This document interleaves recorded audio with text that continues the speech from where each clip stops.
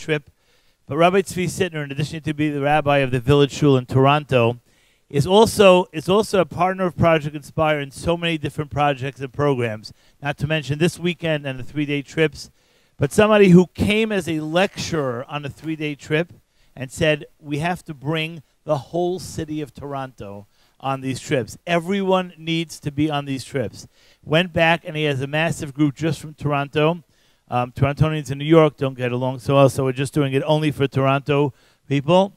Uh, in fact, when I was growing up, they used to tell a joke. I don't know if it's still relevant today, but they said, "How many Torontonians does it take to change a light bulb?" A hundred. One to change a light bulb, and 99 to find out how they do it in New York. No, I was uh, I don't know if it's still relevant today, but really, Rabbi Tzvi Sytner has, like I said, not only come as a lecturer, not only come to join the weekends, but has come as a full partner in everything that we do. He started this weekend off with the spirit and the focus that we needed for this weekend, and he will end it. So, without further ado, Rabbi Tzvi Sytner. Many of us have, ha- have the uh, window into the uh, Shabbos project, the Shabbatons that Project Inspire does. But show of hands, how many people have been on a three day trip? Amazing. Okay, that makes me so happy to see and to hear. Um, first, I want to give a shout out, Malky Staller. Thank you for, she gave me, she, you know, she told me last night I better stay. I mean, I was doing it anyway, but thank you for encouraging me to be here this morning, Malky. Um, three day trips. Baruch Hashem, they're incredibly inspiring. And uh, I've been on, I think, maybe four of them already. I've also been on several Project Inspire Israel trips. For those of you that have not been on the Israel trips, uh, we got to get them going again, but they were very, very inspiring trips. I want to tell you about one particular trip that I was on. And for those of you that have been on the three day trips, you've heard this before, but I can't say it enough, and, and you can't hear it enough. And if you can hear it enough, too bad because I'm saying it anyway. So, there was one particular trip that I was on. It was an Israel trip, and we had people from all over the world. And on these trips, you know, one of the things that they always like to do is to kind of get everybody together. One of the ways they do that, of course, is vulnerability, getting people to share, getting people to support each other and listen. And when you do that, it really uh, brings people together on the bus. So, you know, when you get to a, you're on one of these buses and you've got people from all over the world on one bus, like, well, we got to break down all the walls as quick as possible because this, this uh, trip is a short trip. So I get up on the bus and I, I do this as I often do on every trip get up on the bus and I'll say, um, guys, all of you took off time. You left your work, you left your offices, you left your families, you came here all the way to Israel for this week. And I want to know why. And I'll ask everybody to get up on the mic and to share. And one by one on every single trip, guys will get up on the mic and they'll begin to share. Hey, my name is so and so. I'm from this and this place. I'm here because of this. And it gets pretty emotional, and people are very open. There's a lot of sharing going on. It's kind of like an AA meeting, but with alcohol on a bus. That was, that's, and, and everybody begins to share. It's very, very meaningful. Anyways, I get up on this one trip. I get up on the mic and I say, guys, we're here. I'm looking around the bus. It's full bus. I said, we are um, we're, we're, brothers, and I want to get you guys up on this mic one by one. Come up here, tell us who you are, open your hearts, open your minds, share with us. And for the first time ever, nobody like got up. So I made another. I said, "Come on, guys, let's go. Who's going to be the first courageous one to get up on the mic? Come on up. Tell us who you are. Share with us." Silence. I'm like, "What is going on?" And then I realized I was on the Spanish-speaking bus.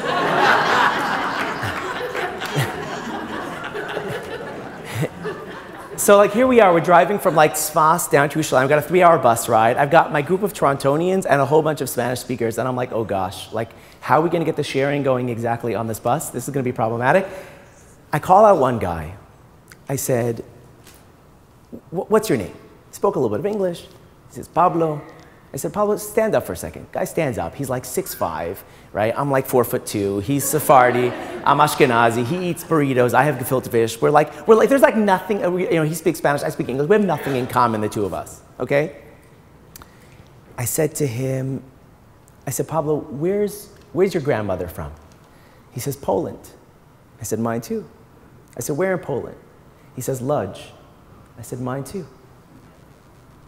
I said to him, You know, that means that our grandmothers could have been neighbors, speaking Yiddish together, cooking gefilte fish. And really, the only difference between you and me is what boat our grandmothers got on. Really, we're the same. Yours got you to Mexico, mine got me to New York. That's it. Shortly after I said that, guys started getting up on the mic. It's a three-hour trip from Yerushalayim, from, from Tzfas down to Yerushalayim. And I'll, I'll never forget this scene where I see some guy getting up. He's speaking in Spanish, and he's crying and crying. And I'm looking at my guys from Toronto. They don't understand a word he's saying. But they were crying along with him. As he poured out his heart, they were feeling what he was saying. A couple days later, it's Friday night, we have this beautiful meal at Aish in Jerusalem. And then we walk over to, uh, to Mea Sha'arim, ultra Orthodox community. I tell the guys, we're going to go, I'm going to take you to a Hasidic dish. Many of you guys have been there. I take, we, we go to Mea Sha'arim. We're walking down these dark alleys, 11, 12 o'clock at night on a Friday night. And as we're walking with this group, I hear singing coming from one of the uh, apartments. I said to the guys, Did you hear that? They said, Yeah. I said, That's what happens on a Jewish home on a Friday night. We sing Shabbat songs. I said, I want to tell you something else. I bet, although this is an ultra Orthodox community, I bet if we were to go in there and knock on that door, I bet you he would invite us in. So the Torontonians were like, no, no, we never do that. And like the, the Spanish guys were like, do it, do it, do it. so I'm like, you know what? Fine. I'm up for a challenge. I walk up, this is I walk up to, the, to this apartment in Yerushalayim, in Mea Sha'arim, dark Friday night, 11.30 at night, and I knock on the door. This Hasidic boy answers the door, long payas. He looks at me, said, Shalom, Shabbat Shalom, ani Rav, ani po im kvutza, anashim mechutz laretz. Right, I'm here with a group from, from uh, you know, outside of Israel, and it's a mixed group of people. I begin to tell him. I said, and uh, we heard the singing, and we want to know if we can come in. And he closes the door. and I look over to my guys, I'm like, and, about a minute later, the door opens up, and he says to me, he says, the Tata says you can come in. So I turned to the guys. I didn't tell them how many we had. I turned to the guys. All right, boys, let's go. All of a sudden, 25 guys come into this apartment. And uh, my jaw almost dro- dropped. Like my, I felt like my face was going to fall off when I looked at the head of the table when we came in.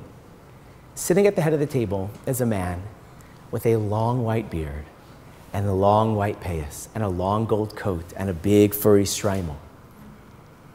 We had walked into the apartment of the Dayan of Toldos Aaron, like the second in command, like the queen bee, the head rebbe. That's whose house we walked into, okay? and I'm like, ah, find me a hole to crawl into. It was like so uncomfortable. And they quickly started pulling chairs, and like we, you know, we all, and he was sitting around the table with all of his, his, his Talmidim, his students, his children, his son-in-laws, it's all there, everybody's together. And, they, and, and all the, the men and women, they start grabbing chairs for us, we all crowd around. And we sit there, and it's really like pretty intense. And he's at the head of the table, and we're all looking at him. And he says, So, where you guys from? Like, what is going on here? That was probably the first English he spoke in like 70 years. He left Australia like, seven, like 60 years ago. He had left Australia, came to Mea She'arim and became this big Hasidic Rebbe. Anyway, he says, okay, you want me to sing? You want us to sing? We'll sing. And all the Hasidim together begin to sing. Ani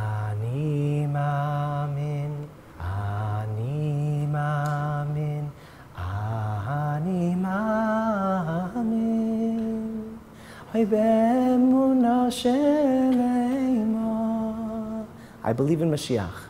And they keep singing it.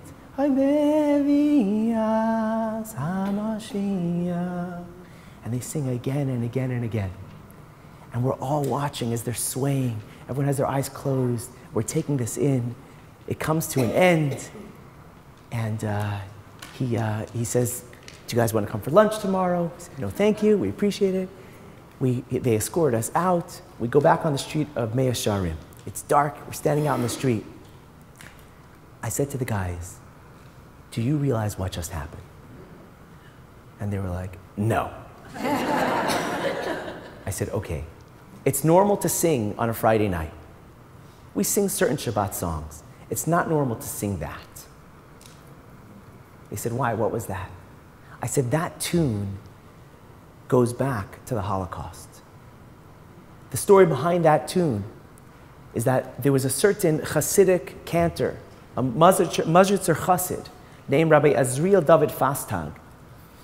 And unfortunately, when, he was, when, when his whole community, his shtetl, was rounded up and taken into these cattle cars on the way to Treblinka, he was a famous cantor and he began to compose that tune as the sounds of the wheels on the tracks making their way in, in, in, in synchrony all the way to, to Treblinka. He's listening to the sound and he begins to compose this tune in the cattle car. And he begins to sing.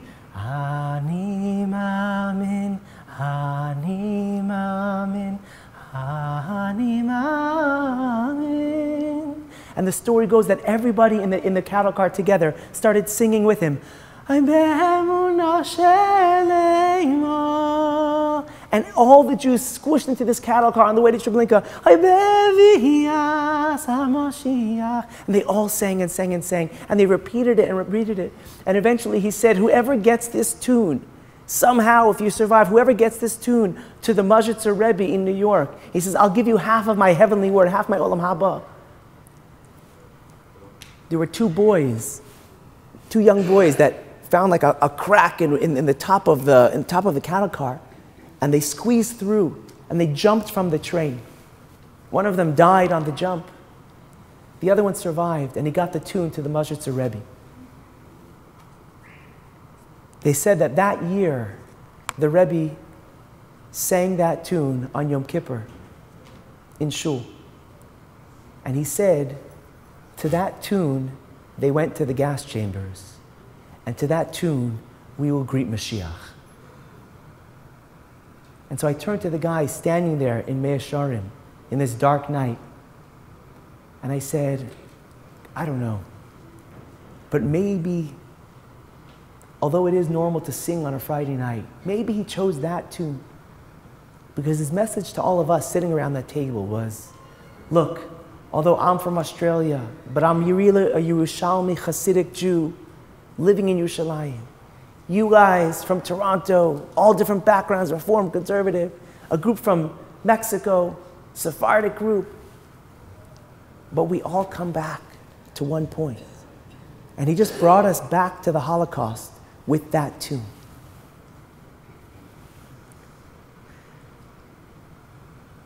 Same people, different boats. In fact, the Klausenburger Rebbe who unfortunately lost his wife and 10 children in the Holocaust. Klausenburger Rebbe said, There's one thing that I actually miss about the Holocaust. Something I miss about the Holocaust.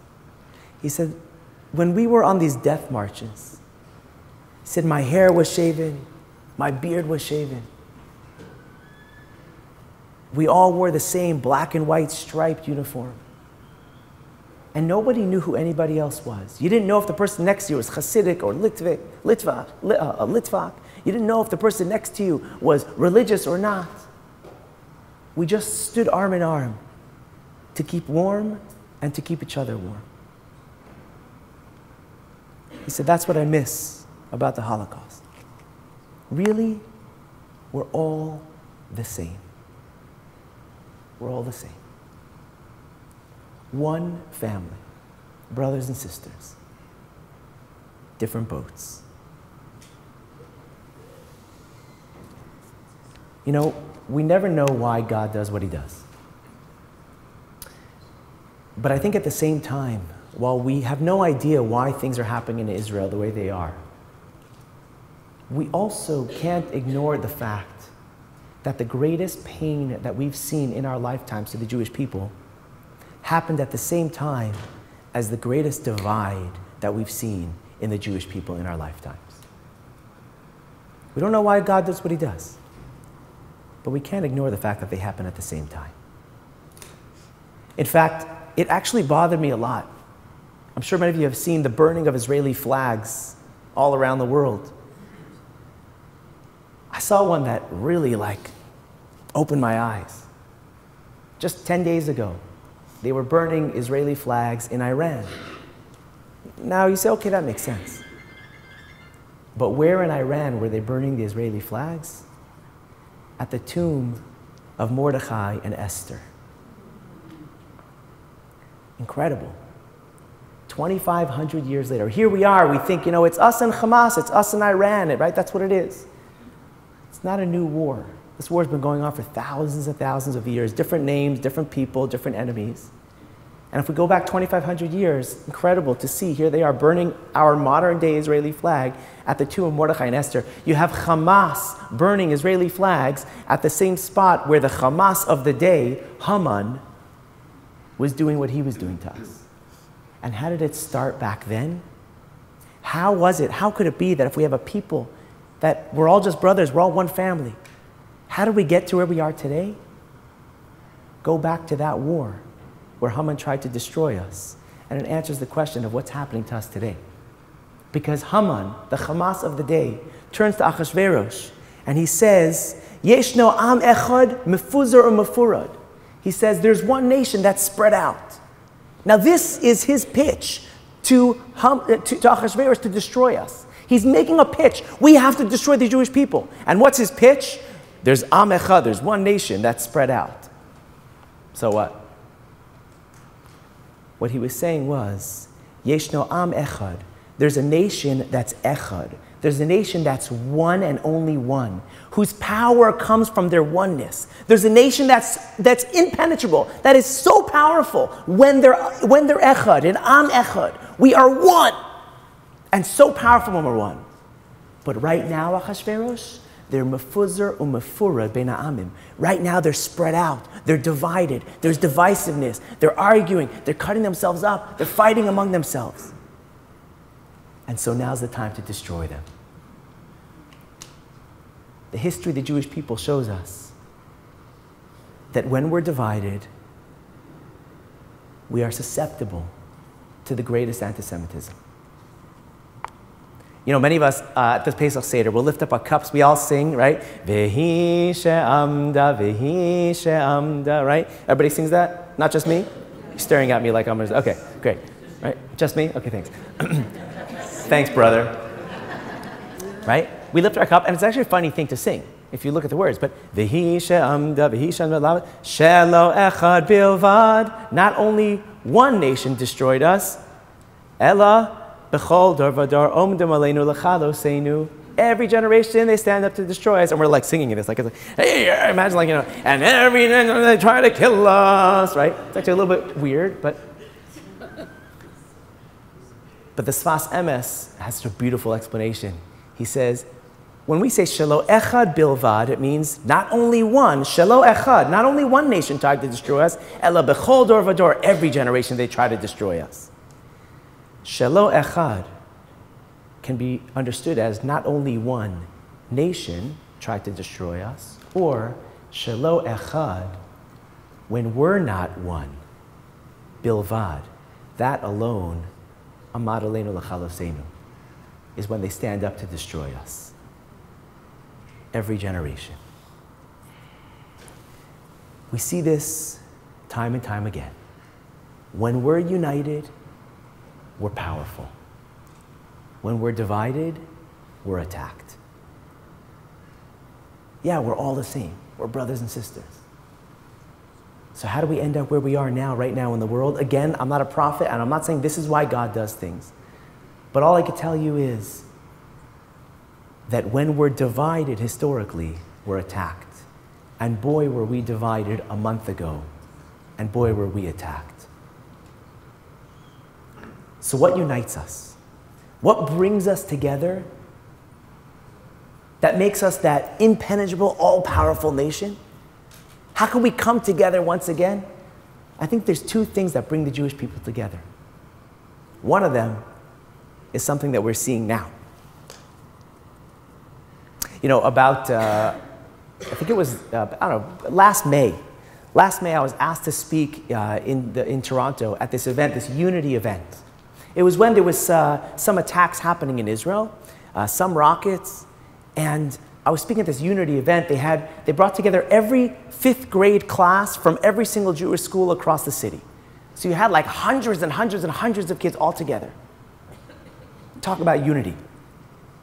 And I said to them, you know, I saw this video. It was a video of a bus stop in Beit Shemesh. The bus stop, it was a Friday afternoon. Some of you may remember this. It was May 12th, Friday afternoon. At the bus stop, you see different groups of kids, different ages, different types, black and white, some colorful shirts, whatever, all different, different ages, different types. Some maybe more academic, some maybe more cool and sporty, whatever. All spread out. Some standing on one side of the bus, some inside, some outside. Suddenly you hear this red alert, woo? That, that sound that none of us want to hear. And the kids realized what they weren't expecting. It wasn't like now. The kids realized there's a rocket that's about to hit any second. And you watch this video. You can probably find out. You watch this video, and you see the kids, and they're all scrambling, and they start running around the, the bus stop, but there's nowhere to go. There's nowhere to, there was nowhere to hide. So they, they, they were trying, and then all of a sudden you see they all go into the bus stop uh, together, all of them under this one bus stop. They squish in. And then you hear boom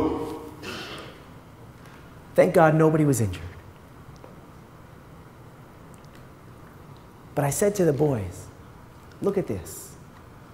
Before that alarm went on, you had all these Jews, all these different kids, different types. I'm going to stand with my friends because I'm that type. You stand with your friends because you're that type. Also, the older kids and young kids, we don't really talk to, we don't hang out with each other. We're just very different. We're all different. You know, you're not, my, you're not really my type.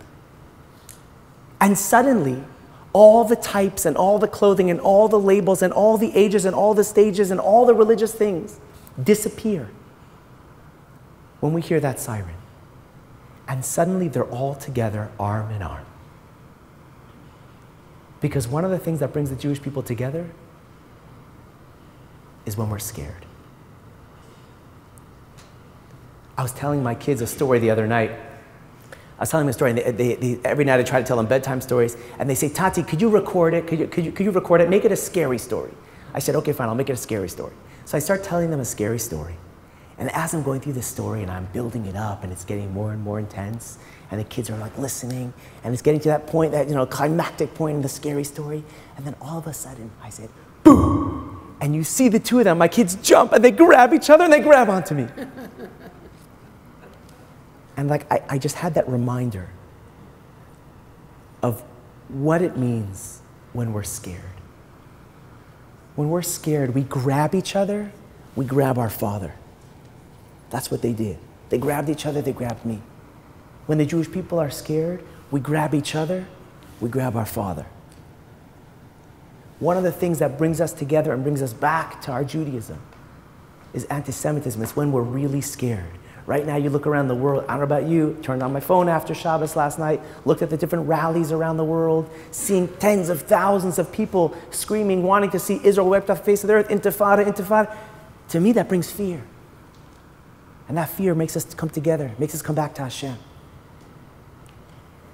And I look back at my notes from what I said to these boys last May. And at the end of what I wrote to them last May was, Guys, what message are we sending to Hashem if the only way that we're going to come together is if you send us rockets? The message we're sending is Hashem, you want us to unite? You want us to drop our differences and come together? You got to send us a lot of rockets. Give us something really bad. And so I said to the boys, we don't want that. We don't want that. And although that is one way that brings the Jewish people together, it doesn't have to be the only way.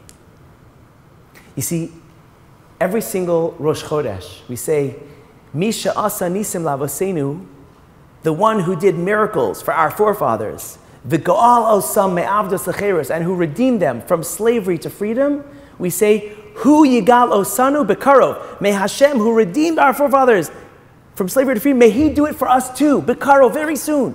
May He end all this, this pain and suffering. May He end the Hamas's of the world and bring us to freedom together. May Arba Kanfas ours from all the four corners of the, of the world. And how is that going to happen?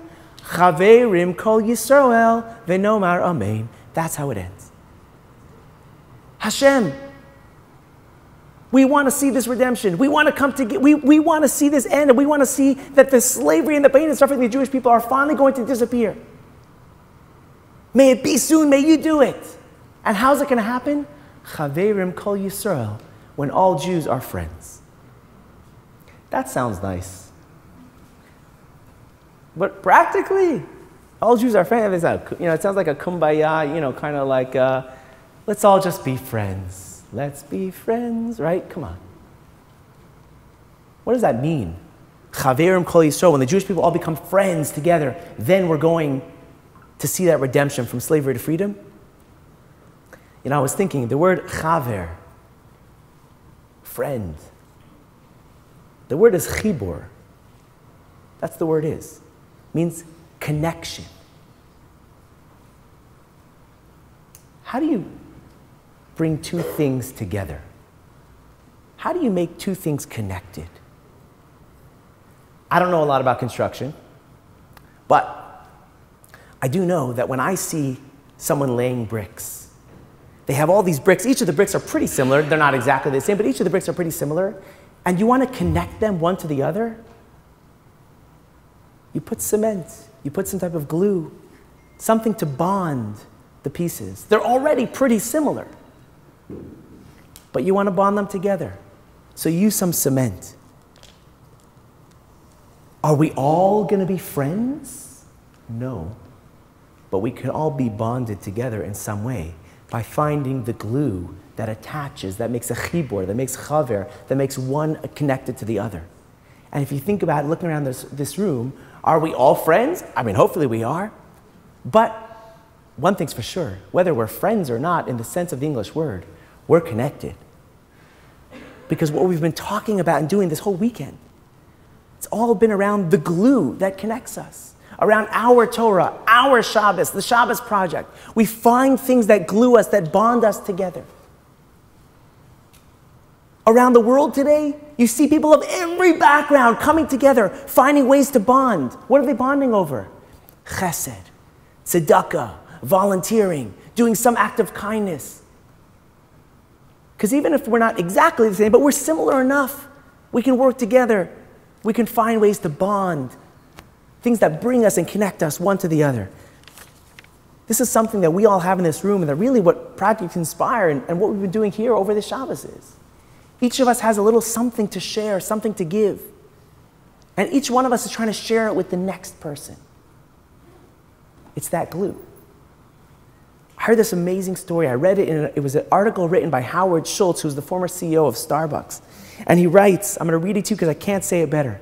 He says, When I was in Israel, I went to Mea Shearim, the ultra Orthodox area within Jerusalem. It was along with a group of businessmen that I was with. I had the opportunity to have an audience with Rabbi Nosson Tzvi Finkel, the head of the yeshiva there. Finally, the doors opened. What we didn't know was that Rabbi Finkel was severely afflicted with Parkinson's disease. He sat down at the head of the table, and naturally, our inclination was to look away. We didn't want to embarrass him. We were all looking away and we heard this big bang on the table. Boom! Gentlemen, look at me. And look at me right now. Now, his speech affliction was worse than his physical shaking. It was actually hard to listen to him and to watch him. He said, I only have a few minutes for you because I know you're all busy American businessmen. Just a little dig he was giving us. Then he asked, Who can tell me what the lesson of the Holocaust is?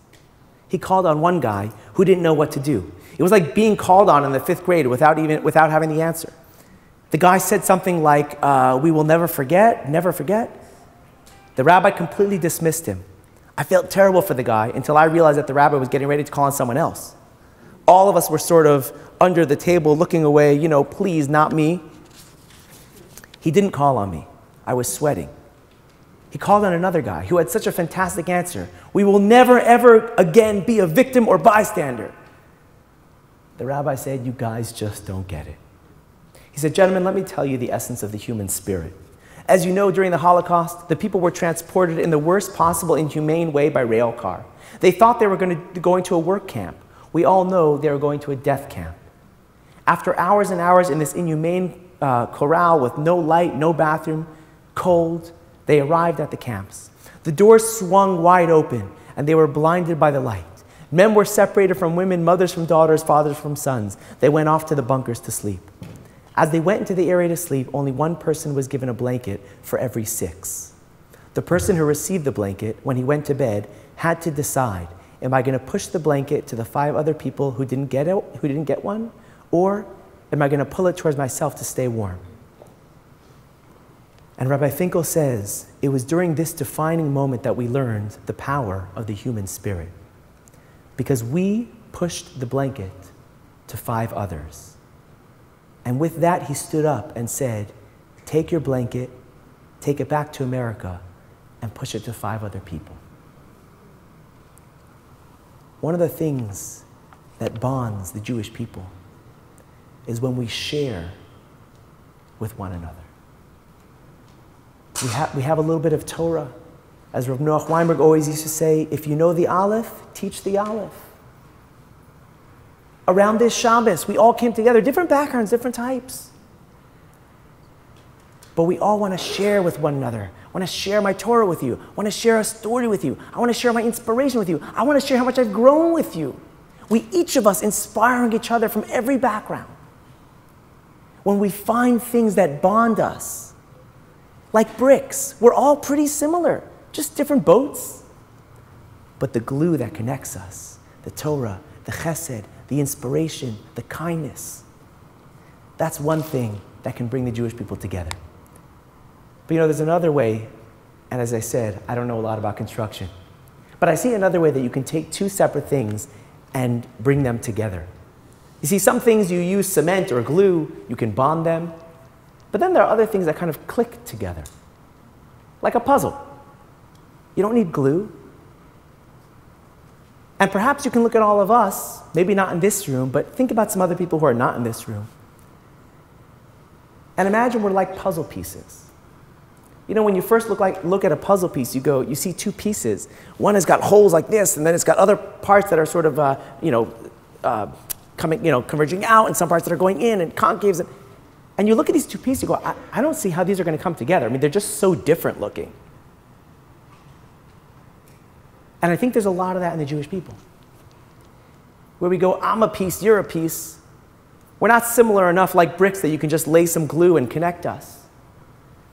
And from far, you look at the two of us, you go, honestly, I just don't see the two of us ever coming together. I don't see ever this chibur, this connection. And I think we all have people in our life like that. We're just so different. The interesting thing is that when you do put them together, although from far it looks like I don't see how these are going to come together, they actually click like puzzle pieces and they come together. It's not natural for us. Unlike bricks that all look the same and say, oh yeah, this is perfect, just a little bit of glue and that's it. Find the things that, that connect us. Puzzle pieces, things that click together, you look at them, you go, they click together, but they're so different. Yeah, but that's what makes them click together. Sure, it takes a little bit of uh, courage, it takes a little bit of effort, but you'll see. They make up for each other's chesronos, for each other's lackings. We can help each other in ways that each of us need. I have to share a story with you. This was a huge eye opener for me, huge. You know, during COVID, yes, I said the C word. During COVID, trying to run a shul, a center in a community, which is a shared space for everybody, is very complicated.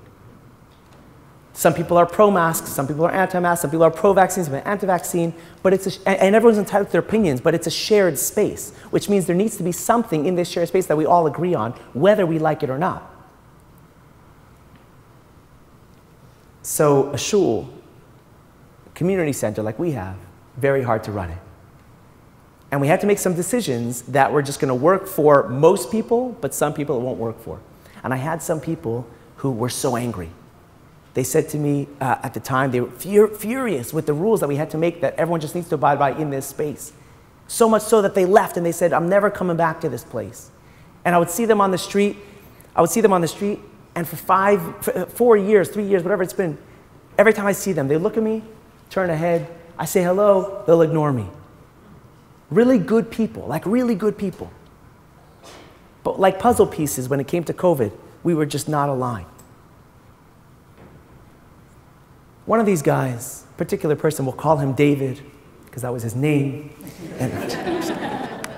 We'll call him David. He's a really, really good guy. I see him all the time, and he wouldn't talk to me. And I remember on Simchas Torah night, that harrowing day of October 7th, he showed up to shul. And, you know, I kind of tried to say hi and nothing to talk about. There was a lot of opinions that night on what should happen. Should we dance? Should we cancel Simchas Torah? And every single opinion in between. We started off Simchas Torah night saying, no, we're going to dance. We're going to dance. We're going to fight back by dancing. And we started to dance, but didn't really, you know, feel so right. In fact, one guy said to me, he goes, Rabbi, I just don't like this. It just does not feel right. And he left. He left and he went upstairs.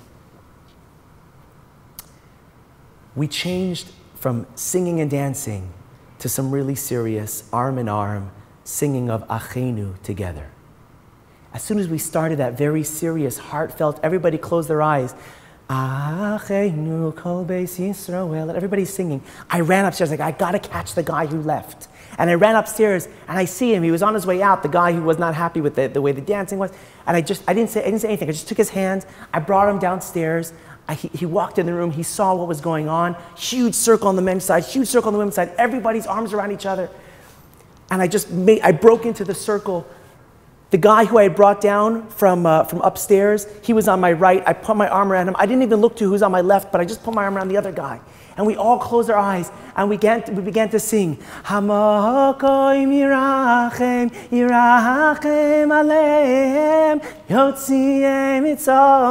and the whole place together was singing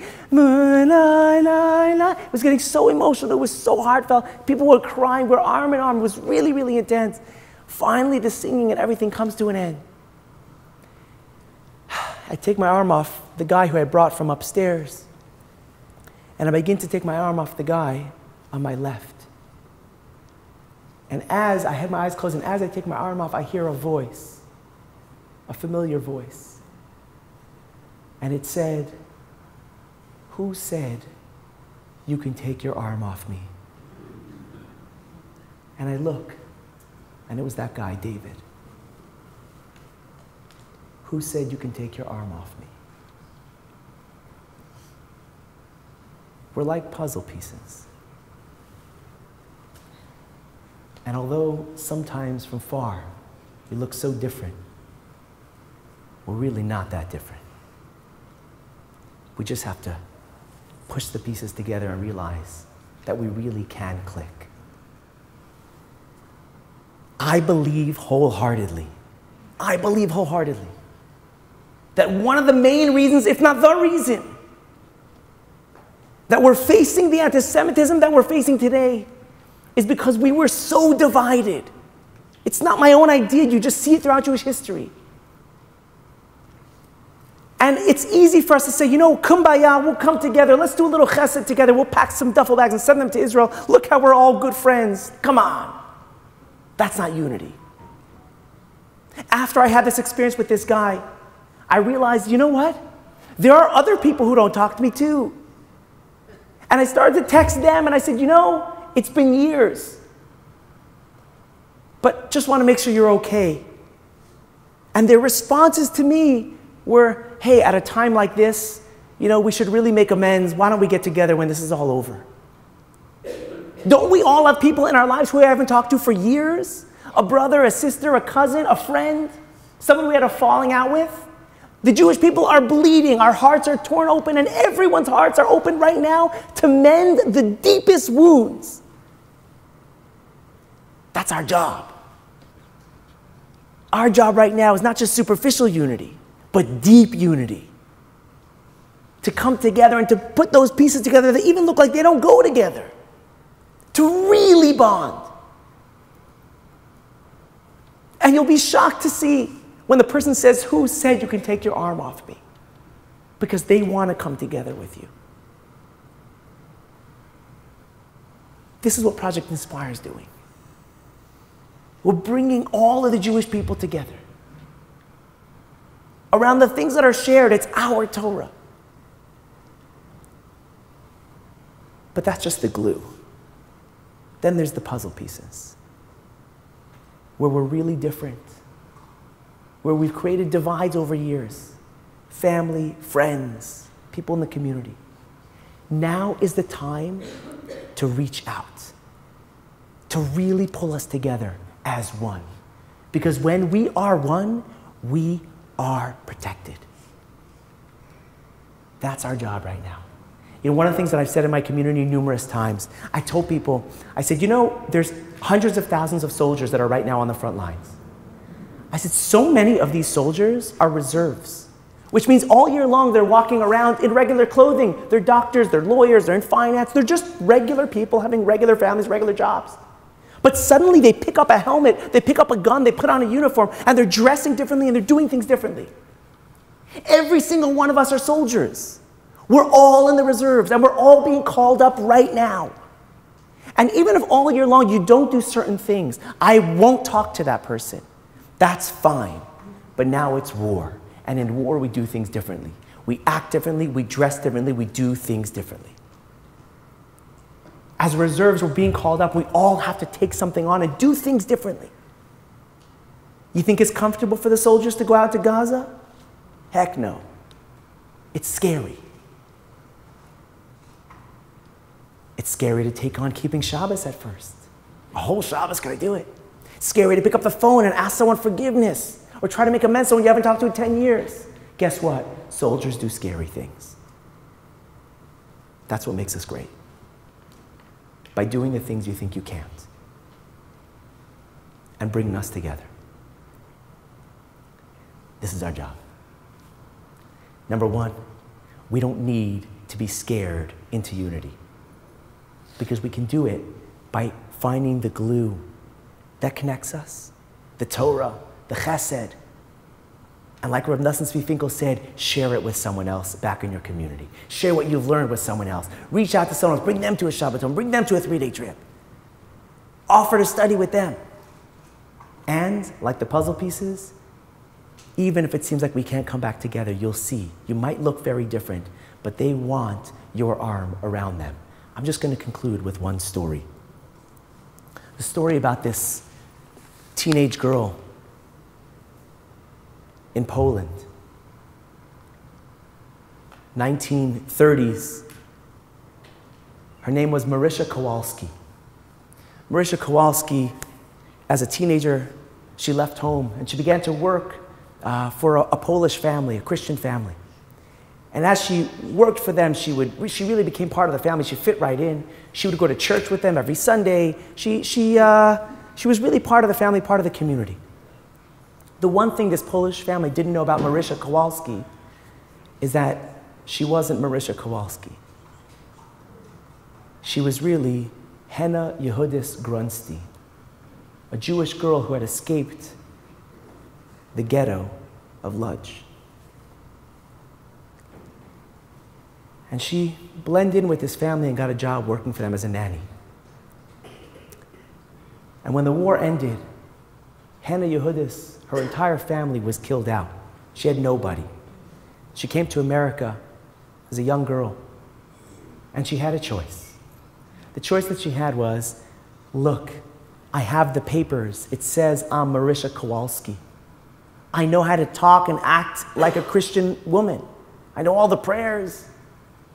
I can continue to live safely like a Gentile, under the radar. Or I can get rid of this identity and re embrace my Judaism, go back to being Hena Yehudis Grunstein. It's risky, but she made a choice. And she decided, I'm getting rid of Marysia Kowalski, tore up those papers, and went back to becoming a Jew. Brought Shabbos back into her life, brought kosher back into her life. And she became Hannah Yehudis Grunstein. And what I love about this story so much is that I shudder at the thought of what would have been like if she would have decided to be Marysia Kowalski. I know one thing's for sure. I wouldn't be here today because this is my bubby. It's a scary time we're living in. But the choice that we have to make is not to stay safe and hide, but to be proud Jews. To be proud Jews. Because the only reason we sit here today is because at some point in Jewish history, we had parents, grandparents, great grandparents who faced the same choice. And instead of disappearing, they remained strong. That's why we're here today. My blessing to us all is that we stay strong. We stay united. We reach out to those that's hard for us to reach out to. We bring the Jewish people together so that we have that divine protection. And we stay true and strong to our Judaism so that we together as individuals, as our families, as our communities, as a nation, are strong Jewish people. And that all of the things that have happened in the world and all the pain and suffering only bring us together with each other and with our Father in heaven. Thank you very much.